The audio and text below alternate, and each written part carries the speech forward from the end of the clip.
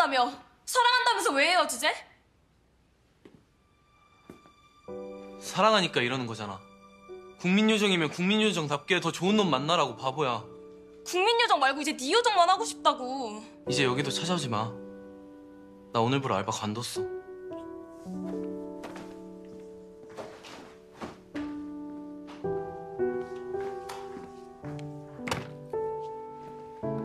헤어지자면서 휘핑크림